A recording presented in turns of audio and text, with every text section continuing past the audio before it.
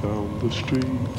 Merrily, I can't eat. merrily, I can't merrily, sleep. That computer's constant singing is driving me space crazy.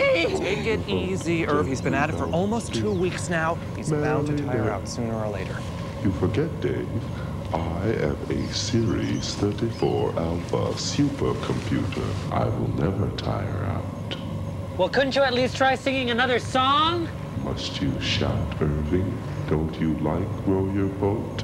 I sure do. Row, row, You gotta do your something, Dave. You gotta get him to stop singing. Dave. You gotta get him to All stop right, singing. Irv, I have an idea. I have an idea. Uh, Hank, I hate to disturb you, but do you think you can run a program for me? Sure, Dave. That's what I'm here for.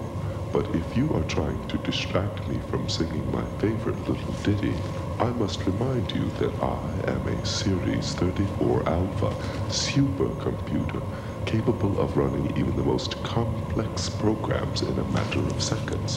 When I have finished your program, I will go back to warming row row your boat. I will never tire out. And I look forward to it. Okay, here's the program. Step one, start with three.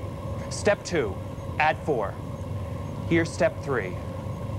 Stop if the sum is even. If not, go to step two. Oh, oh no. You can't do this to me.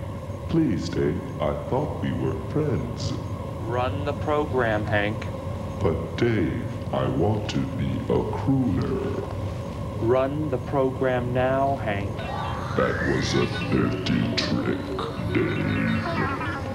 Seven, eleven, fifteen,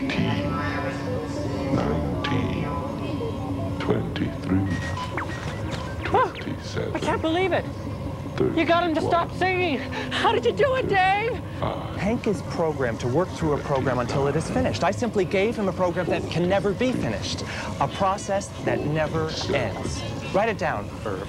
Try to figure it out for yourself. You too. Step one, start with three.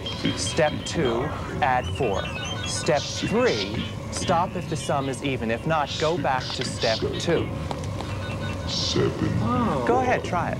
But I'd stop Seven, after a couple of light years if nine, I were you. After all, you'll never reach Seven, an even number.